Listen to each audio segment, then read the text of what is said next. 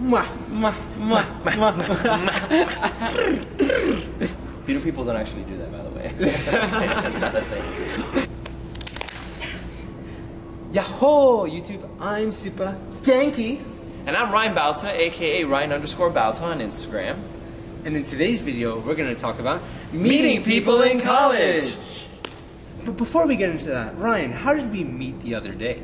Well, Supagenki, I was actually on my way to a gig here on true. campus. I remember. Yes. And I was singing the national anthem, and I heard someone playing at the piano. I mm-hmm. had some time to kill, so I said, let me go check it out. Sure enough, you were there. And, you know, I, I liked what you were playing, and then you asked me, hey, can you play something? I played one of my original pieces. Beautiful, by the way. Thank you, thank you. Uh, and then you asked me, what do you think about the power of positive thinking? What a smashing way to start a conversation. But YouTube, it wasn't an accident. It wasn't chance. If I didn't know how to play the piano, I never would have been at the piano. And if I didn't have confidence in my ability to play, I never would have asked Ryan if he could play. And Ryan, what's music to you?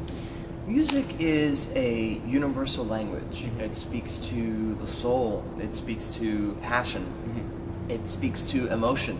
Music really is one of those things that allows you to express your emotions in a way that you wouldn't necessarily do it in your everyday life. Yeah. And once you meet someone that speaks that language, it's like, wow. You know, it's a really amazing experience. It's a conversation starter. It's passion linking up with someone else's passion.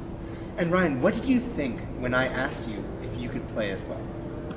It was one of those things that it was, wow, you're one of me. Yeah, right. Let's let's have a conversation about it, you know, and and through that, it was, I could have sat there and talked about music for hours. Yeah. but he had a performance to get to. I did.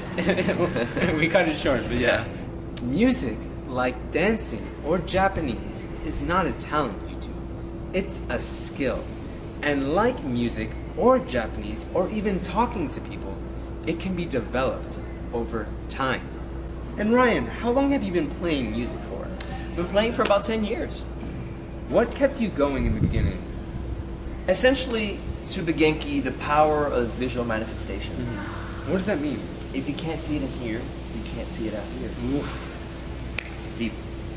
I used to watch a lot of videos of um, Green Day. It's one, one of my favorite bands. I used to just watch their performances and think, I want to be able to do that. So I guess what kept me going was always having in that goal in mind, like I'm going to be on a stage. I'm going to release this many songs. I'm going to do this. I'm going to do that. Seeing it is what was the most important thing. Brian, what's some advice you would give to aspiring young musicians? People out there that want to speak the language, but are still trapped in thinking that it's a talent. And if they don't have the talent, they can't play it. Set goals for yourself. Walt Disney once said, if you can dream it, you can do it.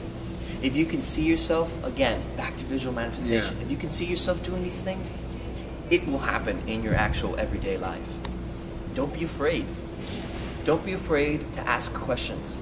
Don't be afraid to go up to your local music teacher and ask them, hey, listen, I don't really know how to play music, but I kind of understand it. Can you help me? Don't be afraid to ask for help. Because in asking for help, that leads to a network of different things that can possibly happen in your life.